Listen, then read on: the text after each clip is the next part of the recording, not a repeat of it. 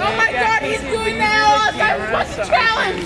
I got nominated by Chloe Matthews for the ALS Ice Bucket Challenge. And I have three people in my mind that I will not share yet.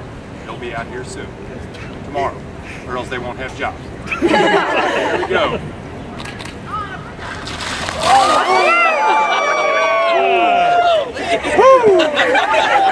Let's.